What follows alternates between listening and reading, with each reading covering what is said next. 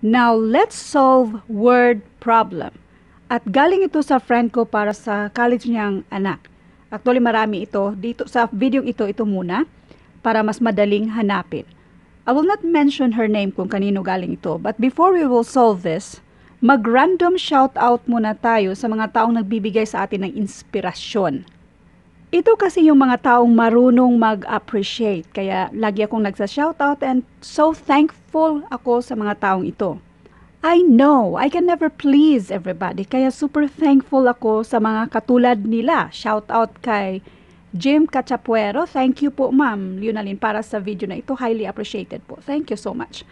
Kay Ivan John Corgio. Salamat ma'am. Gets, gets na daw niya. Kay Muha, Muhammad Ali Mukhtar. Great, mas sayo ko natutunan ito, sabi niya. At kay Shupao Channel, actually, na-meet ko siya in person kasi nagwo-work siya kung saan nandun din ako nagwo-work. Sabi niya, I actually enjoyed watching you, ma'am, doing this amazing content. However, I feel insane daw. You are too smart to do it very easily. That was amazing. Keep it up, ma'am. So, try niyong ibisita yung channel niya. Shout out kay Dudes Garovillo, kay Ivy Puras, at kay Ronaldo Rakaido. Thank you sa inyo. Shout out sa inyong lahat. And may God bless you more than pa sa in-expect nyo. Now, let's go back sa problem natin. Let's read this. Solve for the unknown number of the mathematical sentence. 15 times the sum of a number and 99 gives 1,530.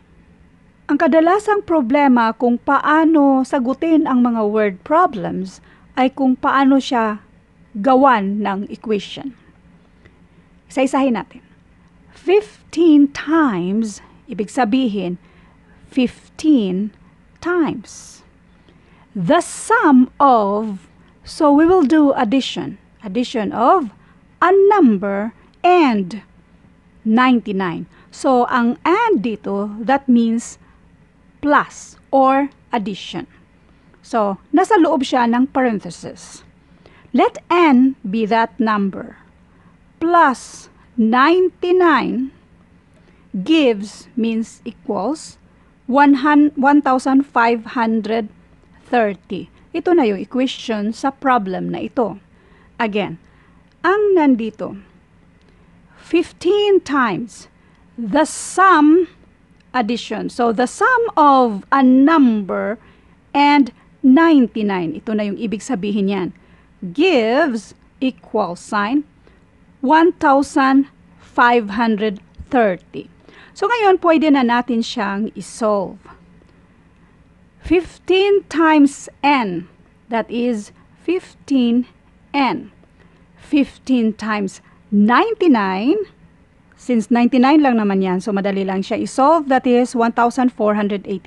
Paano mo sinusolve yan, ma'am? I-round off mo yung 99, i-multiply mo sa 100, and that is 1,500. Tapos, i-minus mo sa 15, kasi nga 99 lang naman ang minumultiply natin sa 15. So, 1,500 i-minus mo na i-minus mo sa 15 and that is equals to 1,485. So, mas madali siyang isolve kapag ganyan lang. 15 times 99 and that is 1,485. So, makasave ka na ng oras dyan. Now, that is equals to 1,530.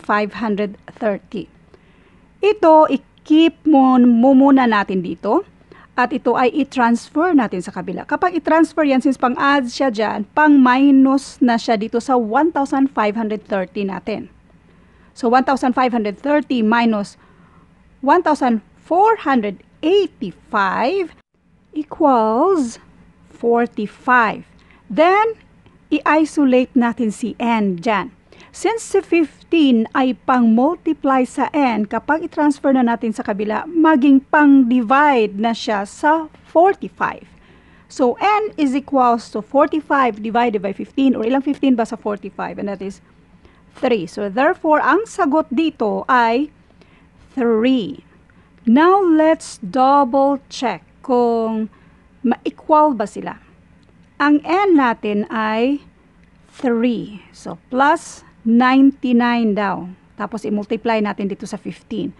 3 plus 99 and that is 102. I-multiply natin sa 15 kung equal ba sa 1,530.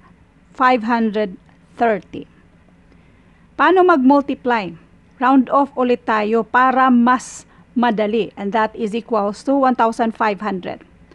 Meron tayong 2, so si 15 i-multiply lang ng 2 and that is 30. So i-add yan and that is equals to 1,530. Therefore, 15 times 102 is equals to 1,530. Therefore, equals siya sa kabila. So, ang sagot na 3 ay tama. Thank you for watching at abangan yung mga future videos natin. By the way, paalala lang, gaano nga ba kaimportante ang videong ito? Nakakatulong po ito para mas lalo niyong maintindihan kung paano ba isolve yung mga word problem, kung paano siya gawan ng equation. At hindi nawawala ang mga word problems sa lahat ng mga exams. Lalong-lalo na of course, yung mga exam na merong mathematics. Thank you.